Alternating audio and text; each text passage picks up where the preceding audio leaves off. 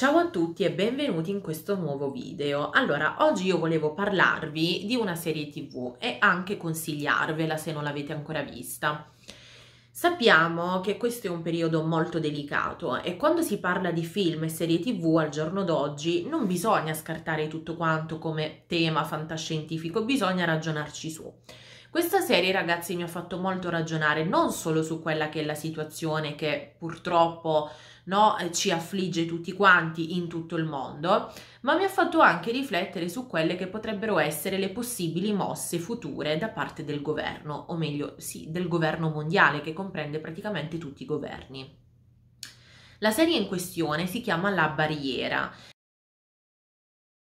è una serie spagnola ehm, del 2020 che conta attualmente solo una stagione. Io spero che ehm, possano andare avanti, spero che ehm, in un certo senso possa uscire anche una seconda stagione, anche perché la tematica che viene lì trattata è assolutamente molto molto interessante. Sì, inquietante, ma anche interessante. Tra l'altro ho notato molte similitudini, molte, molte cose che potrei ricollegare a quella che è la situazione in cui ci ritroviamo a vivere. Ma la serie TV, a parte questa serie TV La Barriera, a parte farmi riflettere su quello che sta accadendo anche oggi nel mondo, mi ha fatto anche riflettere su quelle che potrebbero essere le possibili mosse future da parte del governo mondiale, che sappiamo comprende tutti i governi. Allora, vi spiego un po' la trama di questa serie. Ci sarà giusto uno spoilerino, ma niente di che, non è che questo spoiler vi potrà impedire di, di guardare questa serie perché mh, mm, penso che dalla trama potrà interessare a molti.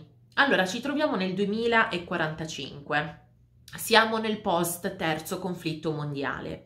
La storia è ambientata in Spagna, precisamente a Madrid e diciamo che a causa di questo conflitto e anche della venuta di questo virus, purtroppo la democrazia è stata sostituita da una dittatura a tutti gli effetti, una dittatura che giustifica le limitazioni dicendo che sì, vivete in modo limitato, sì, non potete accedere più a determinate cose, siete perennemente sorvegliati, questo perché eh, noi vogliamo tutelare l'umanità. Quindi la presa di tutti quanti i diritti fondamentali, di tutte le libertà, l'annullamento di tutti i diritti, di tutte le libertà vengono giustificati con il fatto che ehm, devono proteggere, devono proteggere l'umanità. Un po' quello che sta accadendo anche oggi, no? Ci dicono non Insomma, se volete lavorare dovete fare questo, se volete fare quello dovete... Insomma, non ci danno margine di scelta, ci dicono che bisogna fare quello che loro ordinano di fare.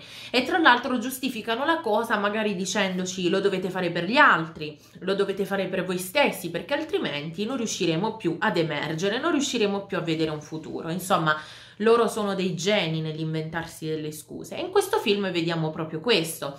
Vediamo una dittatura lampante e vediamo addirittura una Madrid suddivisa in due settori, il settore 1 e il settore 2.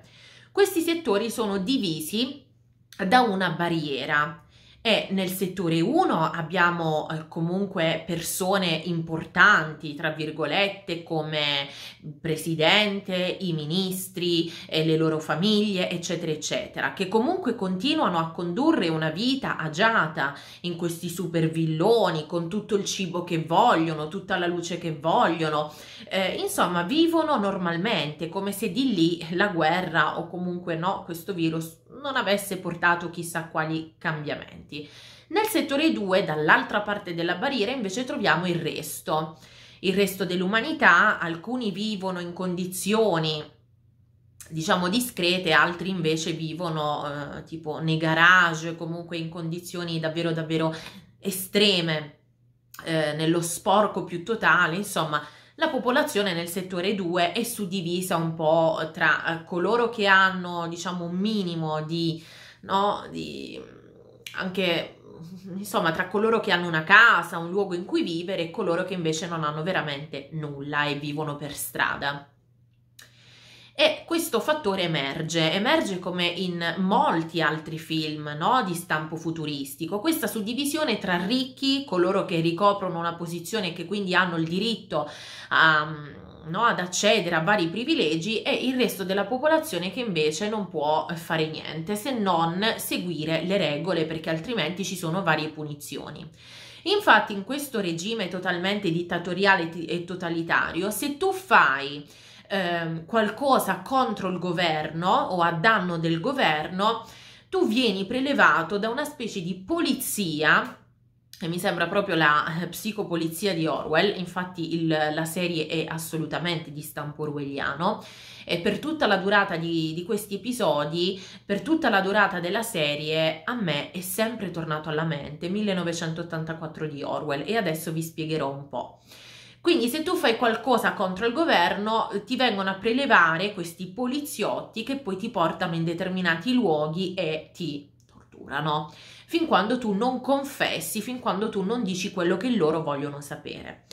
Una diciamo un collegamento che io ho trovato tra questa serie e il 1984 di Orwell vi ricordate in 1984 Winston Smith il protagonista quando cominciò a far parte di quel gruppo di ribelli, quando cominciò a ehm, incontrarsi con Giulia, ecco, lui nei suoi incontri con Giulia pensava di non essere osservato, pensava finalmente di averla fatta franca, pensava di essere sfuggito al sistema e quindi loro facevano tutte le loro cose. Ehm, facevano tutte le loro cose con la convinzione di non essere osservati da nessuno e invece anche nei momenti in cui Winston Smith pensava di averla fatta franca era sorvegliato dal sistema, era sorvegliato dall'occhio vigile del grande fratello e dagli scagnozzi. E infatti poi alla fine del libro Winston si accorgerà che anche nei momenti in cui lui credeva di essere finalmente riuscito a divenire un uomo libero nelle sue azioni, non lo era, semplicemente loro stavano aspettando il momento giusto per catturarlo e fargliela pagare. E questo, diciamo, ehm, questa tematica viene ripresa anche nella serie, perché anche nella serie eh, i protagonisti, mh, mm, non voglio svelarvi tutto, insomma, però i, protagonisti faranno delle cose. E ci sarà, mh, mm, insomma, si giungerà ad un punto in cui uno dei protagonisti crederà di aver ingannato la polizia, di aver ingannato le forze dell'ordine, il governo in generale. E invece i poliziotti e il governo conoscevano in realtà tutta la verità riguardo a questa persona. Quindi questo è proprio stampo orwelliano, questa particolarità dell'essere perennemente sorvegliati. un altro tratto che mi ha fatto veramente, veramente tanto riflettere è che la moglie di un ministro, precisamente del ministro della sanità, lavorava nell'ambito del progresso scientifico, perché vi ho detto, ci troviamo nel 2045, nel post terzo conflitto mondiale, Purtroppo un'altra minaccia era costituita non soltanto dalla ripresa no, e dai danni che questo conflitto aveva provocato, ma anche da questo virus che eh, aveva cominciato comunque a diffondersi tra la gente. Loro non riescono non riescono fino ad un punto a trovare un, un metodo per cercare di debellare questo virus, ma ad un certo punto questa donna, mostro, capisce che soprattutto nei bambini, e soprattutto in alcuni bambini, c'è qualcosa nel sangue che mescolato ad altre sostanze può dare la soluzione per debellare finalmente il virus e ad un certo punto nel corso della serie, piccolo spoiler, si andrà ad assistere al rapimento di molti bambini che verranno chiusi in questa struttura e a questi bambini puntualmente verranno fatti dei panni e, ehm, e in base a queste iniezioni che vengono fatte ai bambini loro riescono a stabilire se il soggetto è raro mh, hm, oppure no.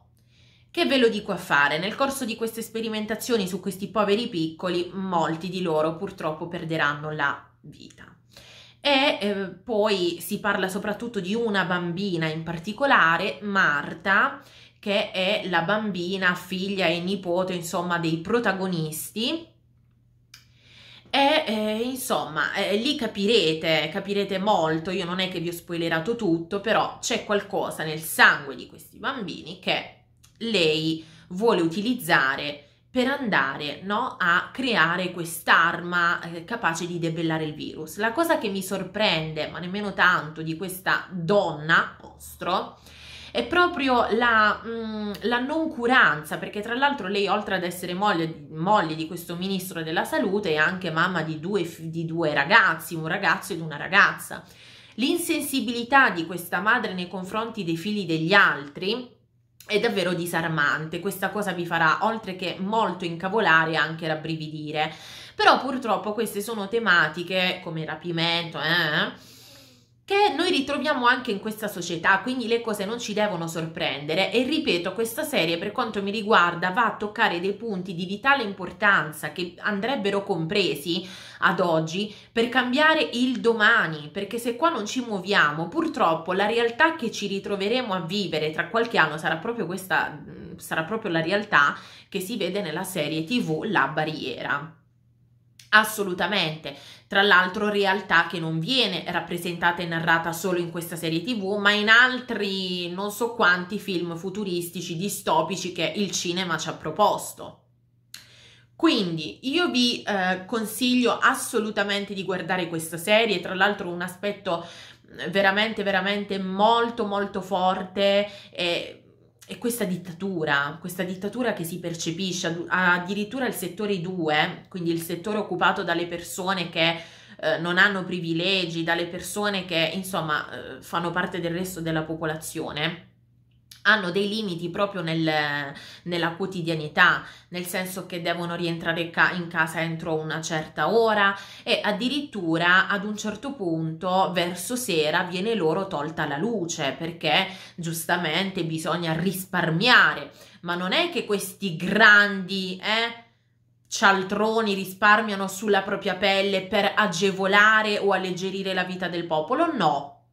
Vanno comunque a no? Eh, vanno comunque a ehm, fare ulteriori ehm, brutalità alle persone che già sono sconvolte, che già vivono comunque in condizioni veramente, veramente di disagio puro. Quindi viene loro levata la luce eh, e addirittura in ogni eh, condominio o appartamento ci sono le cosiddette spie dello Stato dichiarate. E infatti io ho provato una rabbia assurda verso una donna che appunto abita nello stesso condominio dei protagonisti e che ad ogni, ad ogni eh, alzatina di voce, ad ogni battito di ciglia, suonerà alla porta dei protagonisti per chiedere cosa è successo, cosa è successo e eh, lei ha il compito di origliare, di spiare, di chiamare e contattare la polizia nel momento in cui vede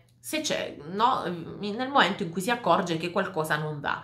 Tra l'altro un aspetto anche eh, molto importante che fa riflettere è che troviamo comunque in questa serie una popolazione priva di qualsiasi eh, cellulare nel settore 2, perché poi nel settore 1, quello abitato dai ministri, presidente, famiglie, lì hanno il cellulare, vi ripeto, nel settore 1 la vita va avanti come se nulla fosse accaduto, mentre nel settore 2 non troviamo più nulla di tutto questo. Addirittura non si può sentire la musica, ci sono una serie di divieti veramente fuori di testa e il governo giustifica tutto questo dicendo il futuro è nostro e per portare avanti l'umanità bisogna necessariamente vivere nel limite, è solo che fanno vivere nel limite gli altri, non loro stessi. Io vi consiglio di guardare questo, questa serie, ripeto, si chiama La Barriera ed è ambientata nella Madrid del 2045. È molto molto interessante, ragazzi, veramente molto molto interessante e spero che ehm, insomma si mettano a produrre anche la seconda stagione perché per quanto mi riguarda potrebbero anche uscire e trattare nella seconda stagione temi che magari sono rimasti un po' così col punto interrogativo. È una serie che vi farà veramente riflettere tantissimo su quella che potrebbe essere la società futura nella realtà. Nella realtà, che è una cosa di vitale importanza comprendere per cercare di modificare, perché altrimenti ragazzi si andrà di male in peggio. Fatemi sapere innanzitutto se avete guardato questa serie, eh, se non l'avete guardata io vi consiglio di guardarla, poi ovviamente sta a voi decidere, ovviamente, ovviamente, non dovete fare nulla in modo forzato. Eh, intanto io vi auguro un buon proseguimento di eh, giornata o serata e vi do appuntamento al prossimo video. Un abbraccio forte forte a tutti.